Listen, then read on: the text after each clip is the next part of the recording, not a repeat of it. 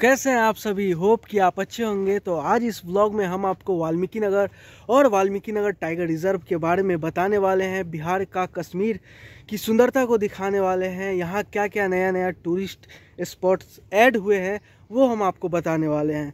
और अभी आना कितना सही है, कितना अच्छा होगा, वो सारा मतलब इन्फॉर्मेशन बताने वाले हैं। तो मैं हूँ आपका दोस्त राजीव आर्या और आप देखना शुरू कर चुके हैं आपका अपना चैनल ट्रैवलर आर्या को।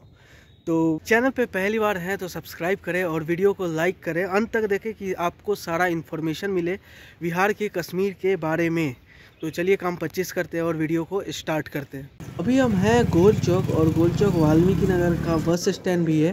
तो आप किसी भी बड़े छोटे शहर से यहाँ पे पहुँच सकते हैं। तो अभी हम आ गए हैं थ्री आर डी पुल और ये चौक जो है सो काफ़ी इम्पोर्टेंट है।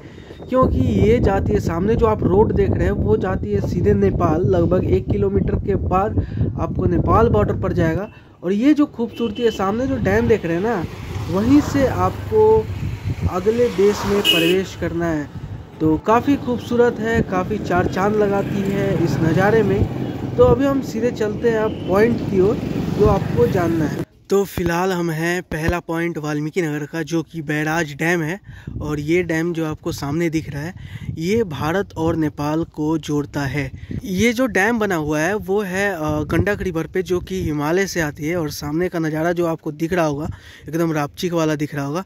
और आपको अगर नेपाल जाना हो तो एक ही रूट है, वो आपको सामने दिख रहा है बैरिकेटिंग दिख रहा होगा, इस इस ओर जो रहती है, एसएसबी रहती है, और उस ओर एपीएफ रहती है। तो ये पूरा डैम को कवर करते हुए आप पहुँचेंगे नेपाल की ओर। यहाँ से ज़ीरो किलोमीटर है। अभी आपको एक सुंदर सा जगमगाता सा एक डैम दिख रहा होगा, सामने माउंटेन दिख रही होगी और एक खूबसूरत नज़ारा दिख रहा होगा। ये शिमला और मनाली से कम नहीं है तो आप एक बार आए और ये काफ़ी एक अलग व्यू देती है शाम के टाइम। तो अभी जो आप व्यू देख रहे हैं, वो है यहाँ के लिए मरीन ड्राइव और यहाँ आपके लिए हम अलग अलग टाइम में अलग अलग शॉट लिए हैं, जो कि आपको हर एक शॉट का, हर एक टाइम का अंदाज़ा रहे। तो अभी देखिए, यहाँ का नज़ारा कुछ अलग है। अभी कुछ देर पहले आपने देखा होगा कि अलग व्यू था। तो फ़िलहाल हम अभी दूसरे पॉइंट की तरफ़ बढ़ रहे हैं और आपको एकदम ये ब्लॉग पूरा दिखना चाहिए। बिहार के कश्मीर को एक नई ऊंचाइयों की तरफ़ ले जाइए शेयर कीजिए और एकदम मतलब अच्छे से शेयर कीजिए। तो दूसरा जो पॉइंट है, वो है काली घाट जो कि आपको यहाँ से गर्मियों के टाइम में आपको काफ़ी अच्छा पहाड़ मिलेगा, काफ़ी अच्छा माउंटेन का नज़ारा मिलेगा और अभी फ़िलहाल धुंध है थोड़ी सी लेकिन सबसे इम्पोर्टेंट यहाँ से हिमालय का भी दर्शन होता है। एक अद्भुत नज़ारा आपको सामने दिख रहा होगा। और अब आपको लग गया होगा कि वाल्मीकि नगर को बिहार का कश्मीर क्यों कहते हैं? तो भैया, अभी हम निकल रहे हैं अगले पॉइंट के लिए, जो कि होगा गंडक रिवर राफ्टिंग पॉइंट और सामने आपको दिख रहा होगा कि काफ़ी सैलानियों का भीड़ है और काफ़ी यहाँ लोग पिकनिक मनाने अक्सर आते रहते हैं। तीसरा जो पॉइंट है, वो है गंडक रिवर राफ्टिंग पॉइंट और यहाँ से ज़्यादा नहीं, पचास मीटर, वो जो सामने कैंप दिख रहा है आपको, वहाँ से नीचे सीढ़ियाँ बनी हुई है, वहाँ से आप राफ्टिंग कर सकते हैं और इस पूरे रिवर को इंजॉय कर सकते हैं। काफ़ी मज़ेदार होता है और इसका ज़्यादा प्राइस भी नहीं है।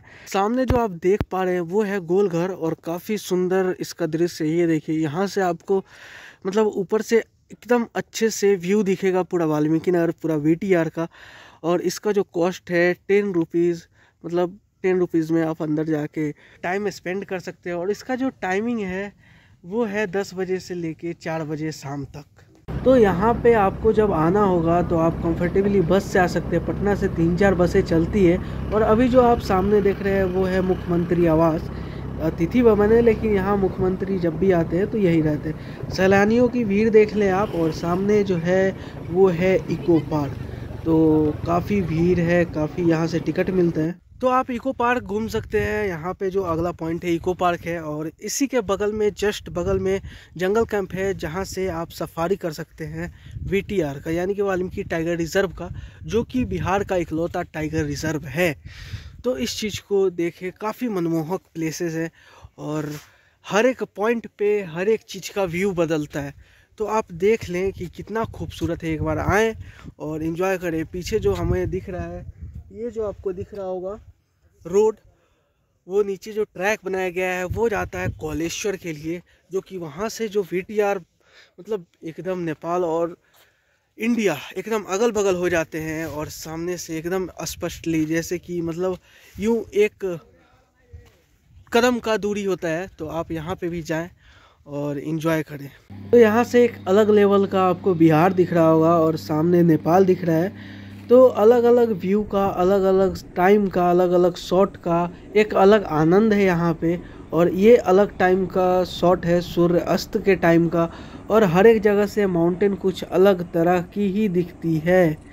कॉलेश्वर जाने से पहले आपको सामने कॉलेश्वर झूला मिलेगा तो आप यहाँ पे बीस रुपये देकर पूरा झूला का मज़ा ले सकते हैं। तो अभी हम आपको लेके पहुँच चुके हैं कॉलेश्वर घाट और सामने आपको घाट दिख रहा होगा। और ये बस सीढ़ियाँ उतरते ही आप नेपाल में होंगे तो काफ़ी एक अलग फील आता है। और सामने आपको चितवा नेशनल पार्क दिख रहा होगा, जो कि नेपाल का एक राष्ट्रीय उद्यान है। अगला जो पॉइंट है, वो वीटीआर गेट है और यहाँ से आप जटाशंकर टेंपल और वाल्मीकि आश्रम के लिए आसानी से जा सकते हैं। लगभग चार से पाँच किलोमीटर आपको जंगल के अंदर जाना है। साथ ही आप जंगल सफारी कर, जंगल सफारी का जो रूट है, यहीं से जाता है। लेकिन आपको जंगल कैंप से बुक करना होगा। और ये देखिए, काफ़ी आपको अंदर जंगल, जंगली जानवर और काफ़ी एक अलग लेवल का व्यू, तराई क्षेत्र का व्यू काफ़ी मज़ेदार लगेगा, काफ़ी अच्छा लगेगा। और ये देखिए, हम हिरन के पास जाने की कोशिश कर रहे हैं। ये देखिए, और मूवमेंट होने पे ये भागने लगता है। कैसे देख रहा है ये देखिए? देखिए देखिए मूवमेंट हुआ और ये उठकर खड़ा हो चुका है। अगला जो पॉइंट है, वो है माता नर देवी टेंपल जो कि आपको पीछे की द्वार दिख रहा होगा और यहाँ से लगभग 1.2 किलोमीटर अंदर जाएँगे। तो आपको साउथ इंडियन स्टाइल में आपको माता का मंदिर मिलेगा। काफ़ी शांतिपूर्ण है और काफ़ी मतलब आप वहाँ जाएँगे ना तो आपको काफ़ी हृदय को ठंडक मिलेगी और काफ़ी अच्छा लगेगा। तो यहाँ ज़रूर जाएँ। तो अगला जो पॉइंट है वो काफ़ी गोल चौक के काफ़ी करीब है और वो है नौका बिहार और यहाँ पे आप बोटिंग कर सकते हैं। ये जो रिवर देख रहे हैं आप, वो अंग्रेज़ों के टाइम का है और अभी हाल फ़िलहाल में ही श्री नीतीश कुमार जो कि बिहार के मुख्यमंत्री है, उन्होंने उद्घाटन करा है। तो काफ़ी सही है और यहाँ के जो नज़ारे हैं, सो काफ़ी खूबसूरत है। इस वादियों को और भी खूबसूरत करता है ये नज़ारा। ये जो नज़ारा है, काफ़ी जान डालती है वाल्मीकि नगर के खूबसूरती में तो नौका विहार के अंदर चलते हैं और देखते हैं कि क्या है। और इसका प्राइस क्या है? प्राइस तो पता है मुझे कि थर्टी रुपीज़ में पूरा अच्छे से अंदर तक बोटिंग कराते हैं। और काफ़ी एक पैर टूटा हुआ था भाई साहब। तो थोड़ा प्रॉब्लम हो रही है चलने में। तो ज़्यादा से ज़्यादा शेयर कीजिए प्लीज़ एक बार रिक्वेस्ट है मेरा। और वाल्मीकि नगर टाइगर रिज़र्व का अगर ब्लॉग नहीं देखे हैं VTR वाला तो लिंक डिस्क्रिप्शन में मिल जाएगा। और आपको ऊपर कार्ड में भी दिख रहा होगा। सामने आपको बैनर दिख रहे होंगे और अभी हाल फ़िलहाल में इसका उद्घाटन किया गया और लिखा गया है जल जीवन हरियाली। तो इसी के तहत इसे साफ़, स्वच्छ और बोटिंग के लिए बनाया गया है। सामने जो लुक दिख रहा है, व्यू दिख रहा है, उसमें पूरा कॉटेज लगेगा और साइड साइड और बेहतरीन मार्केट टाइप का बनेगा, जो कि इससे फॉरेस्ट विभाग ऑपरेट करेगी। तो ये बहुत ख़तरनाक लुक देने वाला है।